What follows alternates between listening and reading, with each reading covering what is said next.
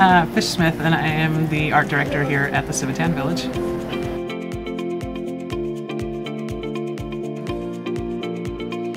Well, the reason why I like being the art director at Civitan is the joy it brings me. It uses my creative mind.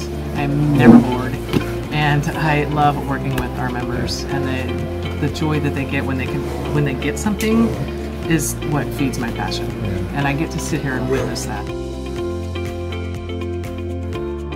Think the expression of beauty is important on every level. So for them to be able to choose a color, to be able to create something, to be able to say I made this, it's a big sense of pride and accomplishment. You know, um, and I think it's also really fulfilling to work with.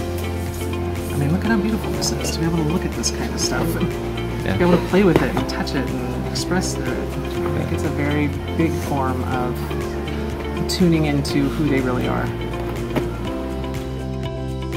I love the staff. I love the members. I love the quality of conversations we have and the quality of relationships we build.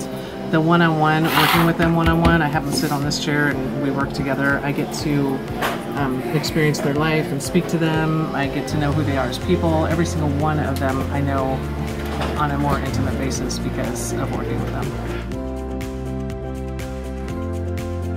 There's nothing like this in the world. There really isn't. I can't imagine another job like this. I mean, if I get bored of doing something, I can just switch it up. I don't, there's no conventionality to this.